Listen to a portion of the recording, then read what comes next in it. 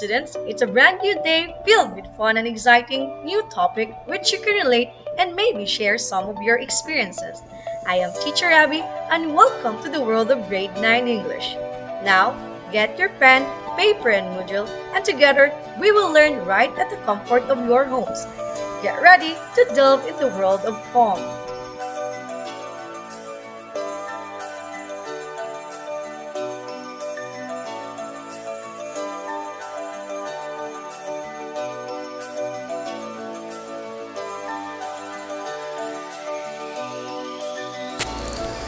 Students, do you like to read a poem?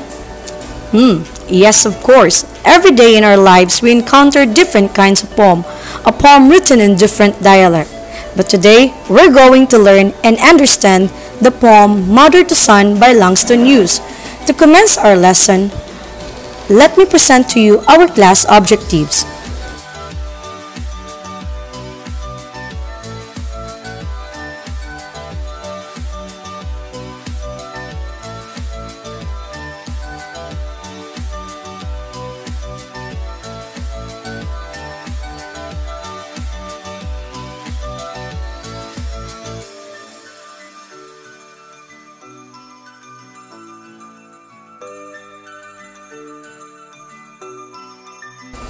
Listen to the audio recording and analyze the poem. Infer the persona's thoughts, feelings, and intentions in the poem. Draw generalization and conclusions from the materials listened to. Create a collage based on the chosen line or images from the poem. Use rubric to evaluate the output given.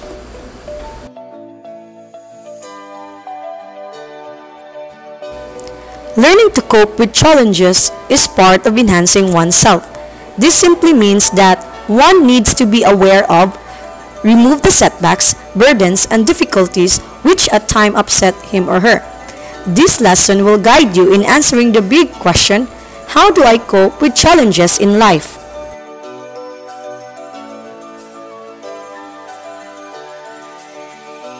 So students, are you ready?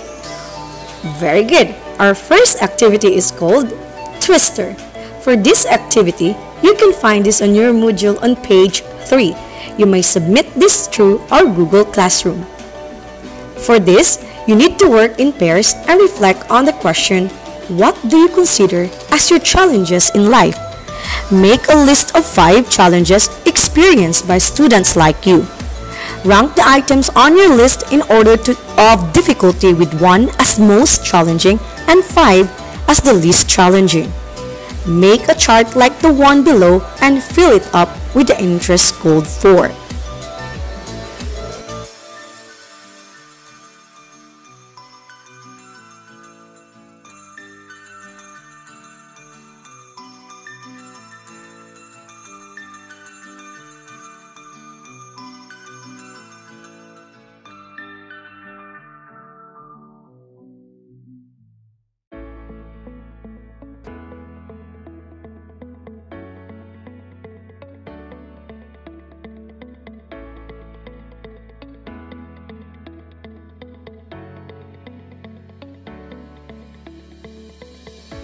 Since we're already done with that, let's proceed to task 2.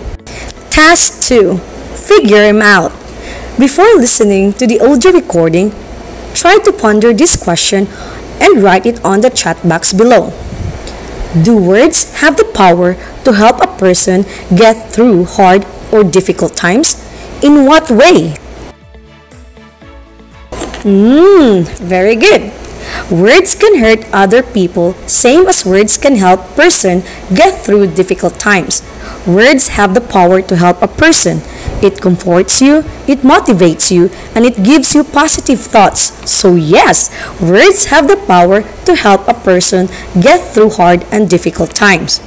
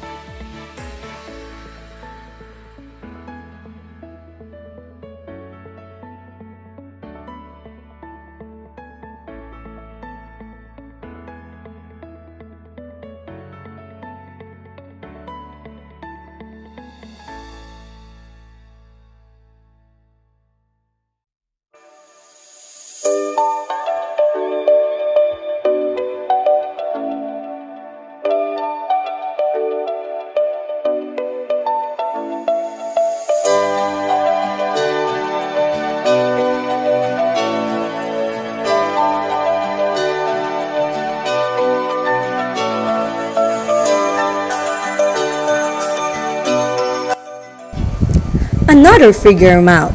Do you know who is in this picture? Hmm, are you sure? Of course you know this picture. Yes, this is Langston Hughes, James Mercer Langston Hughes. He was an American poet, socialist, activist, novelist, playwright, and columnist from Joplin, Missouri, one of the earliest innovators of the literary art form called jazz poetry. Hughes is best known as a leader of the Harlem Renaissance. He famously wrote about the period the Negro was in vogue, which was later paraphrased as when Harlem was in vogue. To know more about him, I already included some references for you to surf about.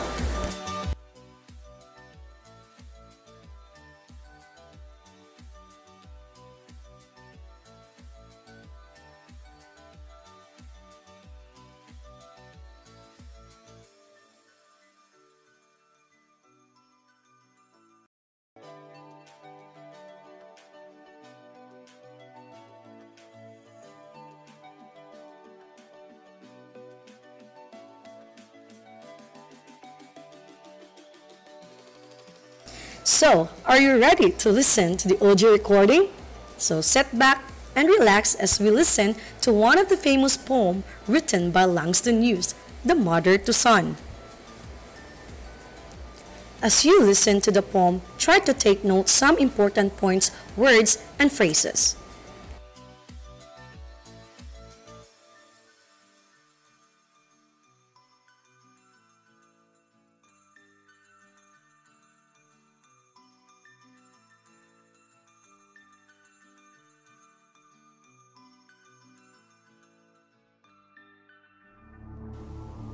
Well, son, I'll tell you.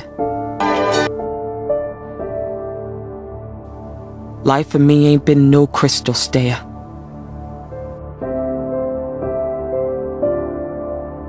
It's had tacks in it. And splinters. And boards torn up. And places with no carpet on the floor. Bare.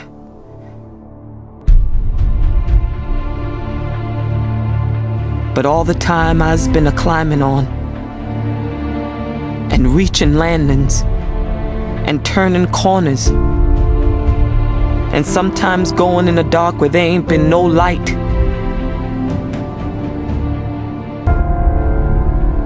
So boy, don't you turn back. Don't you sit down on the steps cause you find it's kinda hard. Don't you fall now. Fires are still going, honey.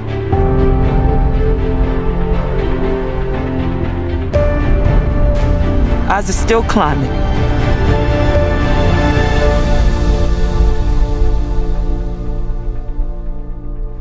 And life for me ain't been no crystal stair.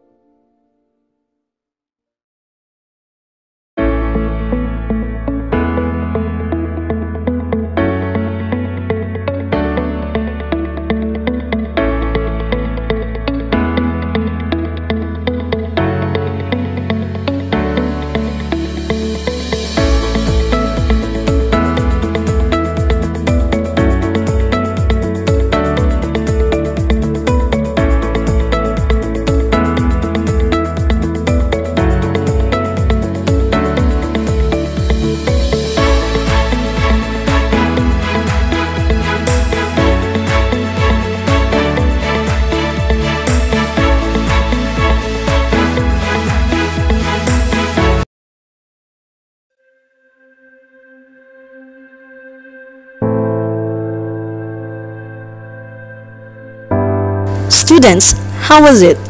Did you understand the poem? The emotions are yet heavy, right? Indeed. Now before we delve deeper, try to answer this activity by group.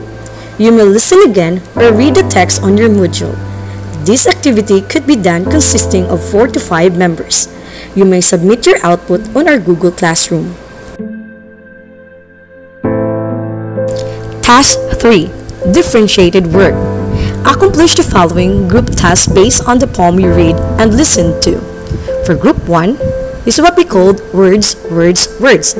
You need to list the words that your group finds it difficult in the poem. You may use dictionary to find the meaning of the words as well as the antonyms and synonyms.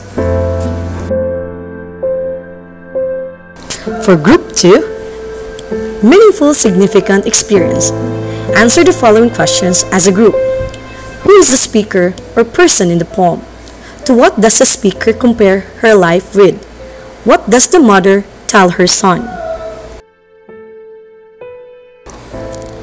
For group 3, salient points. Read and discover the answer to the following questions. What is the poem about? What is the most interesting phrase in the poem and why? Which part makes you think of someone in through life experiences? What do you think is the author's purpose in writing the poem? For group 4, discuss the answers to the following questions. Which part of the poem do you like best and why? What do you think might have motivated the mother to advise her son? Is the message of the poem worthwhile? What have you learned from it?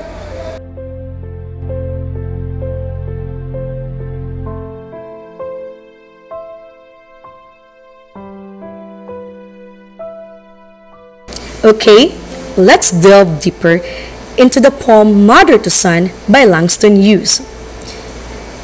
This poem by Langston Hughes is a poem written in lyrical poetry and is more than likely an allegory for civil rights issues, which were prominent when it was written. This can be seen by the quote, Life for me ain't been no crystal stair, which implies a struggle that has been ongoing for the mother's entire life. The poem seems to represent some extremely loving and motherly themes through what may appear to be harsh vernacular. The metaphor used here are indeed harsh, but make no mistakes, the mother's intentions are benevolent to give her son a stern warning about life. One way that mother to son fits the theme of lyrical poetry is with its adherence to expressing the feelings of the singer or poet, which Hughes does indirectly through the mother, such as with the quote, For I see still going, honey, which lends the mother a firm commitment to enduring the hardships of life. The first two lines of the poem begin with the mother beginning her explore son and mentions that life has not been crystal stair. This term is ambiguous and creates an air of mystery around the poem. However, the most likely explanation is that the mother was simply creating an example of a pleasant yet delicate item to contrast with the harsh reality of life. Or maybe the poet implies that life was definitely not delicate or pleasant. The next few lines mention the despair of the mother's life, describing it as a having tacks in it, with boards torn up and completely bare. The rhyme scheme here is much more uniform than in most other parts of the poem, and most of these lines all give the same basic point, that the mother has been through a great deal of hardship throughout her life, and these hardships have taken their toll on her. Next, the mother mentions that she has been continually advancing through life via metaphors such as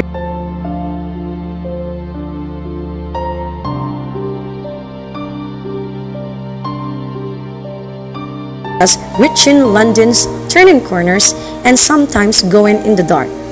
This imagery implies the ascension of human from the bottom rung, if not the top, at least a better position than when they began. The rhyme scheme here is also snappy and consistent, implying a sort of steady rebuilding of one's life. The mother then tells her son that he must not turn back nor fail, which seems like tough love, coming from a motherly figure. But these lines help to reaffirm the mother's role in the poem as an experienced matriarch, guiding her son even if these lessons seems harsh. Finally, the mother tells her child that she herself is still climbing and reaffirms that life is not a crystal stair. This seems to imply that everyone, even the seemingly experienced and summer mother, must continually improve or set down on the steps, which is another common theme of the civil rights movement constant betterment of the self.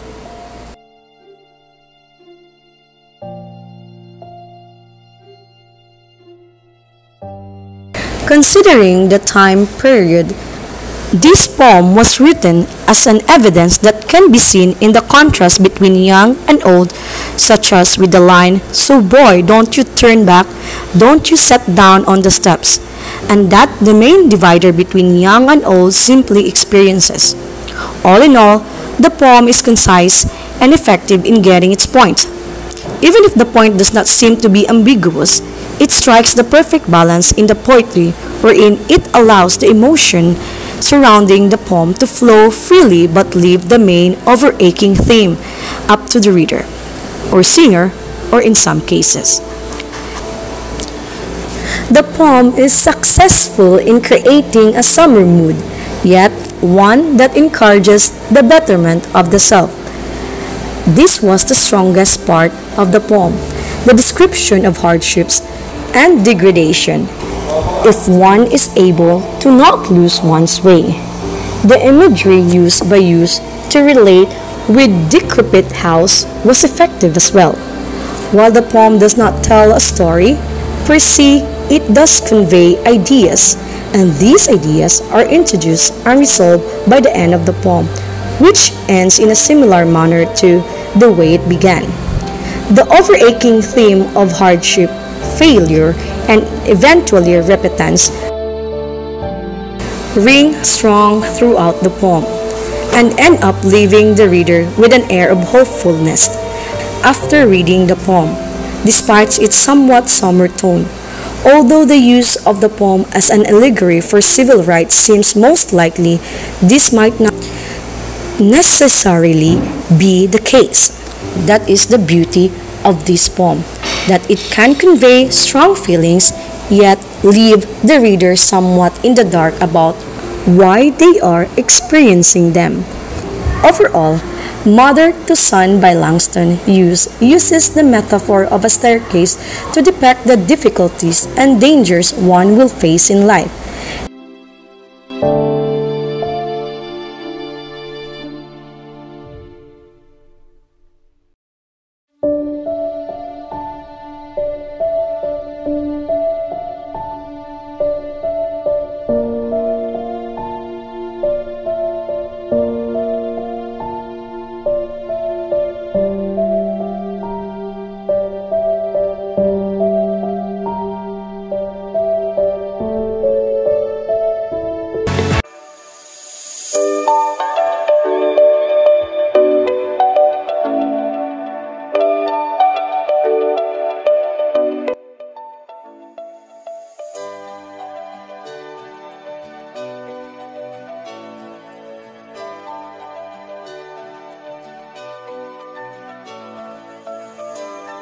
Now, since you already understand the poem Mother to Son, let's answer this question.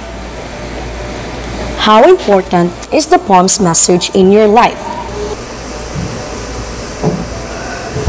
It is important because it gives us an inspiration and advice that no matter what challenges and obstacles we are facing, we still need to continue our lives and face these challenges wholeheartedly.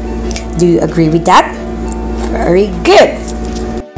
The second question is that what have you learned from it?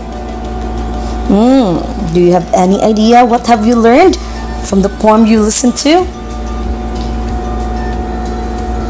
Alright, you have learned that life is full of challenges, but we should be strong and have the courage to continue living because we don't own all the problems in the world.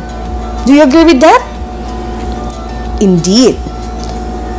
One thing that I have learned is that the life of a parent is not simple.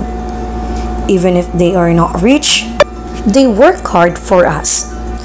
Just like in the poem that the mother has been through a great deal of hardship throughout her life, and this hardship had taken their toll on her, but she continued that no matter how hard life is, we must continue and face all our struggles and difficulties in our life. We must never give up. Continue living. Which among the advices have you already heard from your mother? Mm-hmm. Of course,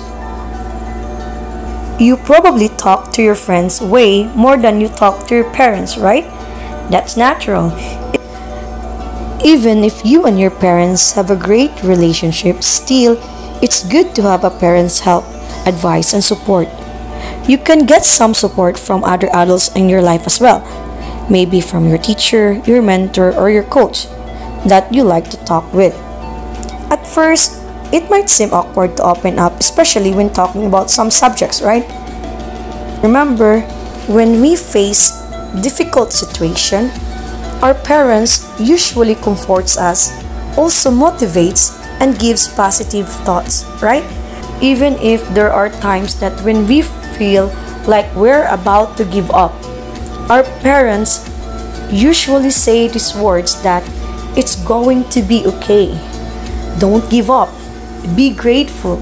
Be true to yourself. Those are the advices that we usually heard from them.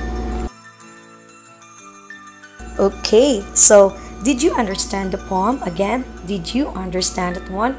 Do not forget to submit your output in our Google Classroom. Okay, very good.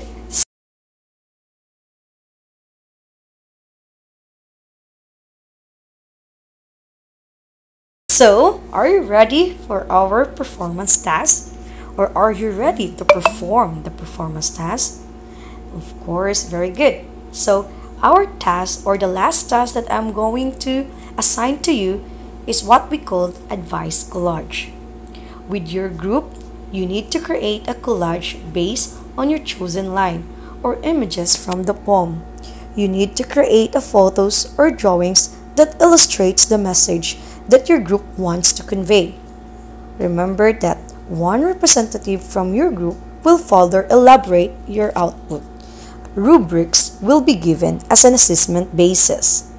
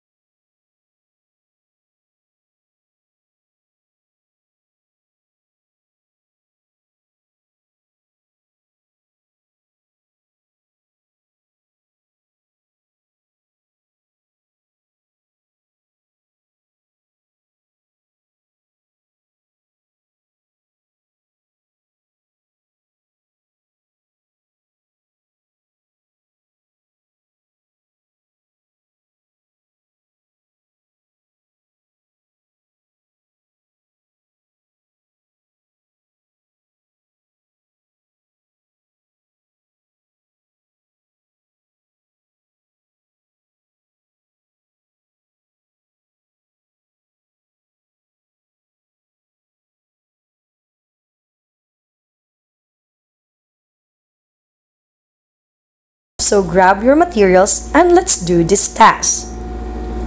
You, you will be given 10 minutes to complete this task. Timer starts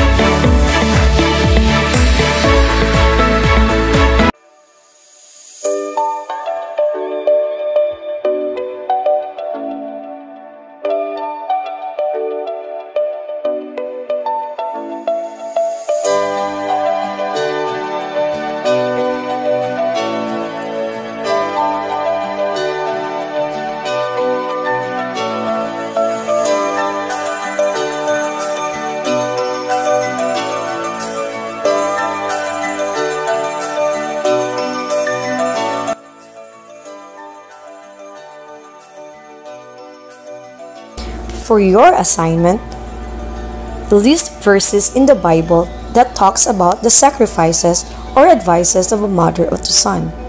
Through the list of verses, choose one that represents one's experience through a two-stanza poem. You may submit your output in the next session.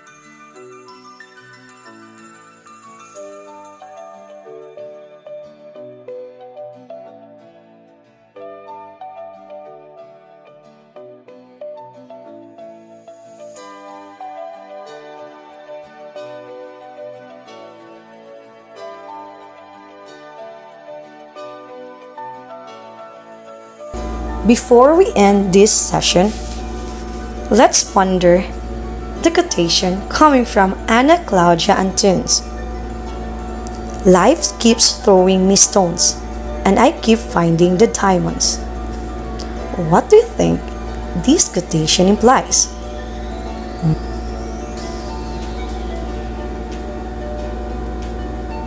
This quotation implies that Whatever happened, and despite all the challenges, people need to keep moving forward and also face time to confusion and uncertainty. This is similar to the advice of the mother to son, telling her boy to do the same and have the courage to move forward without even turning back. The mother also tells, do not mislead or lose hope. She inspires her son by saying that she has always strived for a better life and even he must continue to do so. Just to persevere.